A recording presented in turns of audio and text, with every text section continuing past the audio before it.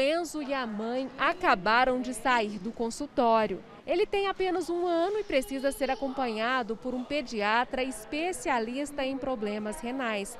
Nem sempre é fácil encontrar esse profissional, ainda mais na rede pública.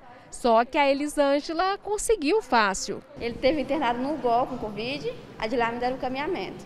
Aí fui no CAIS, a secretaria ligou para mim semana passada, encaminhado para cá. O Centro Integrado de Pediatria do município funciona ao lado da UPA do Jardim América, em Goiânia. São nove consultórios e 11 tipos de atendimentos para crianças de até 12 anos. De acordo com a Prefeitura, é a única unidade pública com essas especialidades no Centro-Oeste. Para conseguir uma vaga, é preciso encaminhamento. O paciente é atendido no CAIS ou no CIAMES e desse atendimento o pediatra da unidade faz a referência para a CIPED.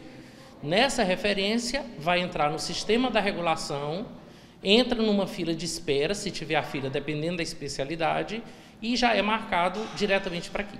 Além de cardiopediatria, tem gastroendócrino, nefrologia, pneumologia, otorrino, alergista, infectologista, pediatra de alto risco, os que cuidam de crianças prematuras ou com doenças congênitas, fonoaudiologia, psicologia e nutrição. O Centro Integrado de Pediatria foi inaugurado recentemente. Quando o quadro clínico estiver completo, 4.400 consultas serão ofertadas todos os meses. Atualmente, 2.800 já estão disponíveis.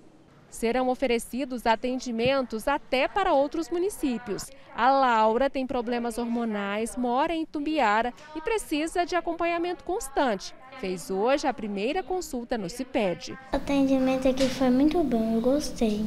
A gente foi bem recebida, por mais que a gente chegou de madrugada, né?